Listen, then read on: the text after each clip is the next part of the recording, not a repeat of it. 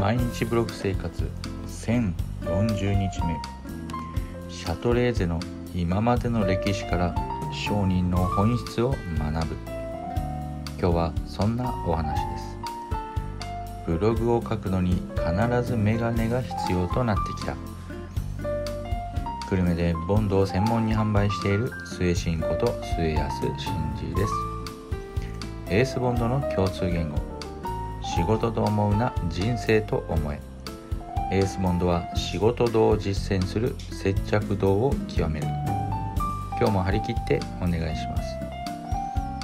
今日のお題はシャトレーゼの経営から承認の本質を学ぶ。末市の第二のふるさと。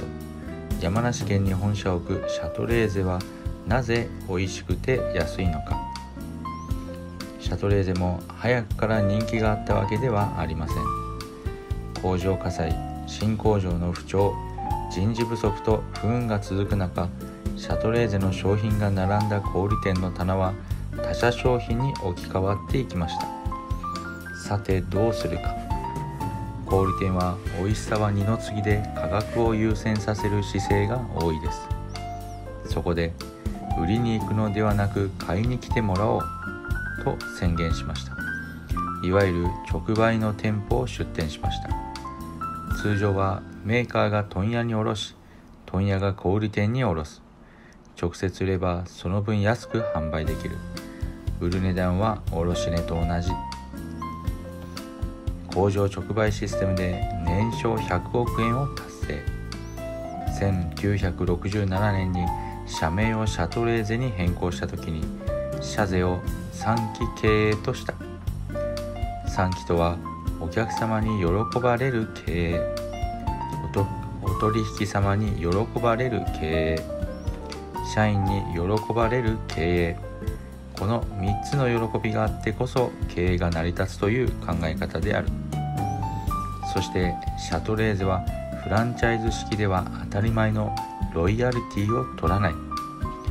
フランチャイズオーナーはのれん分けをしたパートナーである。末進もシャトレーゼのフランチャイズになったオーナーを知っているがとても楽しく経営している。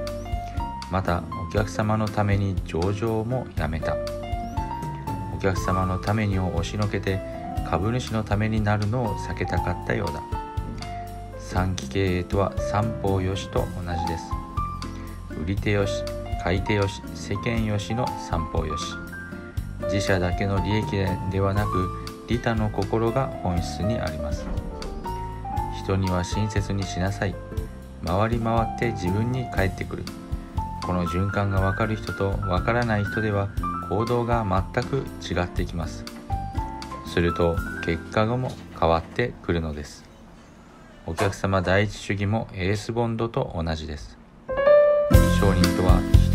ばすことを極めた人です。お客様は何をしたら喜ぶか。それを考えると何を行動すべきかが分かります。エースボンドもシャトレーゼを見習ってコツコツ経営していきます。今日の